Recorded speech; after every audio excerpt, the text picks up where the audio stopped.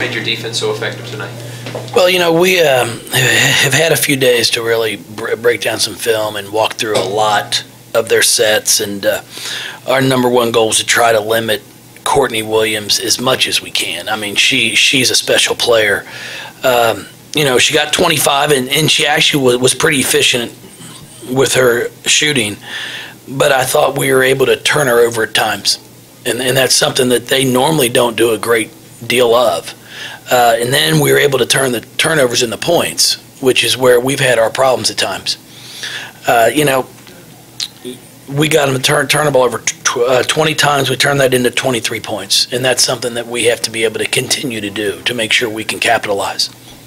Coach Briahanna Jackson put a lot of effort into uh, defending Williams defense. She did a great job. She wasn't hitting shots. What's that mean for her to go out there and put that energy out defensively? No, and that that's really something that we've been talking to her about. You know, she she struggled. It's not a secret. You know, she has not been making shots. You know, she started off the year shooting the ball so well and and, and getting to the line and not and knocking down free throws.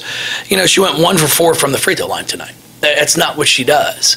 But you know, she's she's getting to the point now. She's maturing as a player to where she's not allowing missed shots to affect how she plays at the defensive end of the floor. And we needed everything she gave us. And it's not that she held her scoreless, but there were a lot of times, especially in that fourth quarter, where they're trying to make a run at us, and we made them use 20, 22 seconds of the shot clock before they even got a shot because BJ was doing such a great job of keep, uh, of keeping her in front of her, not not allowing her to get to the rim, and then she was contesting shots, and that's that's what you you have to do. So I, was really really proud of her effort on the defensive end of the floor, coming up with four steals, and then she she had two assists and only one turnover. So, you know, it's going to start to fall for her. What I've got to just get her to do is relax some, uh, not worry about try, trying to find a shot, let the shot come to her, and then she'll she'll knock him down. She she's too good of a player to stay in this slump. If, if you say very uh, very much longer. What about the play of Arica, how different are you when she's getting in the lane like that and making everybody else, it, it seemed like a lot easier for everybody else. Yeah, there's no question. When, when, when she's aggressive and plays strong with the ball, it, gives us another scoring option.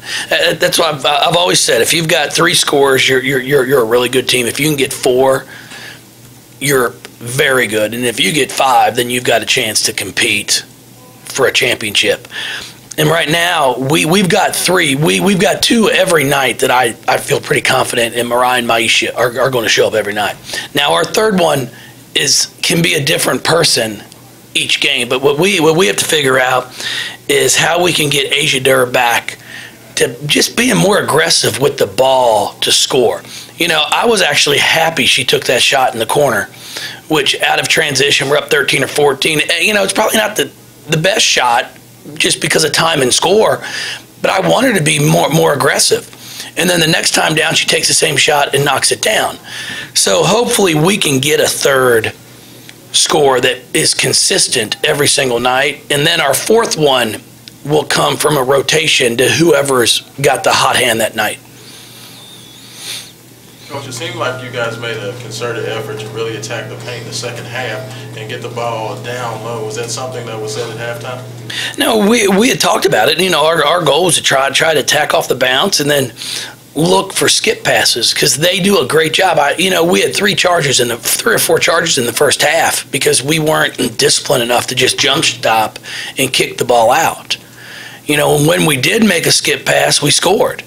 So we had talked about that at half about we, we can't have, have any more charges. You know, we let's let's jump stop. They help. Let, let's find the open shooter, and I thought we did a very good job of that.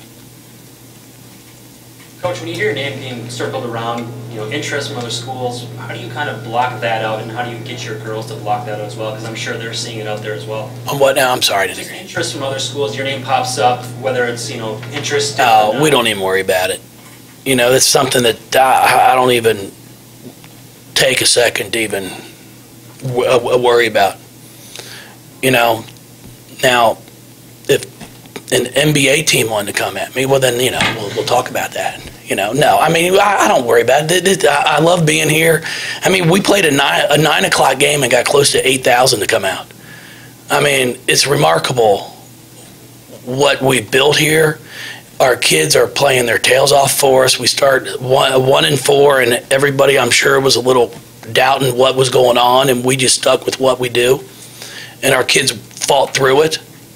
And, you know, we're really excited about where we are right now and where we're building this program, excited about our incoming recruits that we have for next year.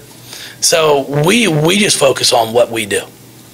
You know, there, there's not much you can control on, on the outside, so we just take, take care of what, what we're doing on the inside. How big was this one in the, in the whole grand scheme of things with, you know, just a couple? No, it's it's a it, it- it's a big win for us. It's a big uh, our uh, our RPI win. Uh, you know, we have to take care of business from here on out. I, I, I, I know quite well, and our, our our kids know. Every night we're going to have to show up, play. We just can't show up and expect to win. You know, we, we, we proved that in the first month of the season that that didn't work too well for us. So uh, I, I can always I always remind them of that, and they're quite aware of what took place. But South Florida is an NCAA tur- a tournament team. There's no question about it. Um, you know, Ferreira, number 20, she, she she hadn't played the past few games because of a, a foot injury. Well, I'm not sure exactly what it is, but you know, when she gets back, she brings a new d- d- dimension to their team. She she was healthy last year. and We played them in the NCAA tournament. She starts off the game with back-to-back threes. You know, the kid can score, but what she really does is defend for him. So once she gets back, it's going to just change a lot of the pr- pressure that's on Courtney Williams right now. So there's no doubt that they're going to make a, a, a good run in the NCAA tournament and uh, finish out their league play. Jose's too good of a coach. Thank you, everybody, for coming out, because boy, it's late.